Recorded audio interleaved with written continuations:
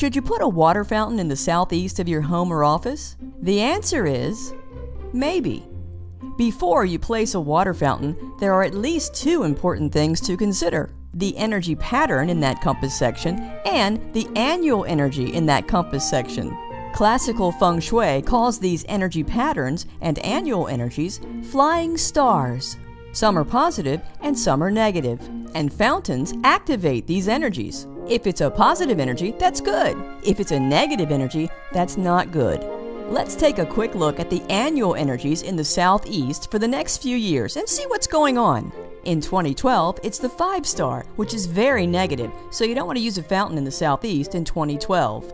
In 2013, it's the 4 star, which is positive for creativity, artistic achievement, and relationships. In 2014, it's the 3 star, which is negative for arguments and legal matters. In 2015, it's the 2 star, which is negative for illness. In 2016, it's the 1 star, which is positive for prosperity. Those are the annual energies in the southeast of homes and offices for the next few years. You also take into consideration the energy pattern that formed when the building was built. We call those energies the Flying Star Natal Chart. In every building's natal chart, there are nine different energy patterns, one in the center and one in each of the eight compass sections. We know how to figure out what they are by the year of construction and the compass degree the building faces.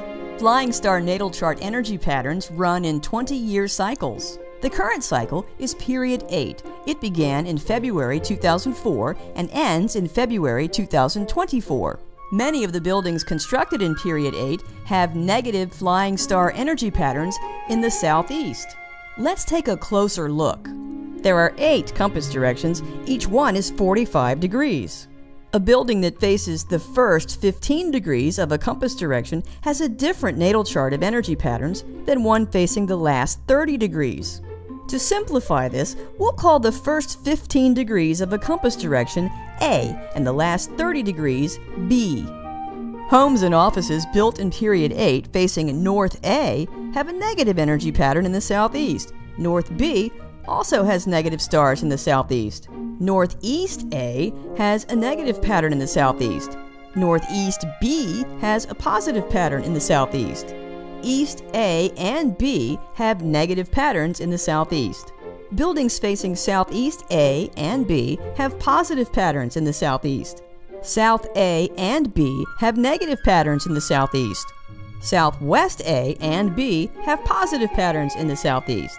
West A and B have negative patterns in the southeast, and Northwest A and B have positive patterns in the southeast.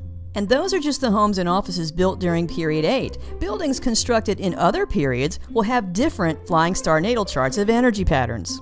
Fountains activate those energies, so it's a good idea to look at what a fountain will be activating before you use one.